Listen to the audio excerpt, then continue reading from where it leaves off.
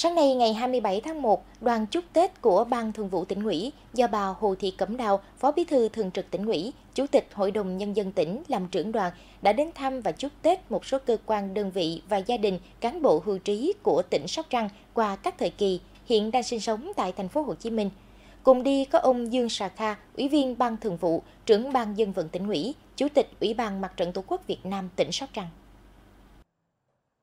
Đoàn đã đến thăm và chúc Tết lãnh đạo, cán bộ, y bác sĩ Bệnh viện Thống nhất, Bệnh viện Chợ Rẫy. Tại các nơi đến, đồng chí Hồ Thị Cẩm Đào ghi nhận sự giúp đỡ, hỗ trợ của các đơn vị đối với tỉnh Sóc Trăng về công tác khám chữa bệnh, hỗ trợ kinh nghiệm chuyên môn cho đội ngũ nhân viên y tế của tỉnh, đồng thời thông tin về tình hình phát triển kinh tế xã hội của tỉnh trong năm qua. Đồng chí Phó Bí thư Thường trực tỉnh ủy mong muốn trong thời gian tới, các đơn vị tiếp tục phối hợp hỗ trợ tỉnh Sóc Trăng trong nhiệm vụ chăm sóc sức khỏe cho nhân dân nhân dịp năm mới Giáp Thìn 2024. Thay mặt đoàn, Phó Bí thư Thường trực tỉnh ủy gửi lời chúc Tết, thăm hỏi sức khỏe đến toàn thể cán bộ đội ngũ y bác sĩ, nhân viên y tế trong đơn vị và gia đình năm mới nhiều thắng lợi mới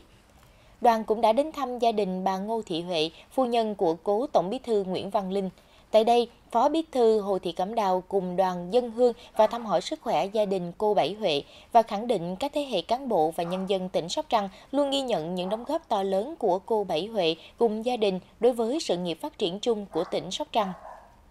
Đại diện các cơ quan đơn vị và gia đình bày tỏ sự xúc động và trân trọng gửi lời cảm ơn đến các cấp lãnh đạo tỉnh. Các đơn vị cam kết sẽ tiếp tục hỗ trợ địa phương trong lĩnh vực chuyên môn và chăm sóc sức khỏe nhân dân và chúc đoàn cũng như các thế hệ lãnh đạo tỉnh ủy, hội đồng nhân dân, ủy ban nhân dân, ủy ban mặt trận tổ quốc Việt Nam tỉnh đạt được nhiều kết quả tốt trong năm 2024.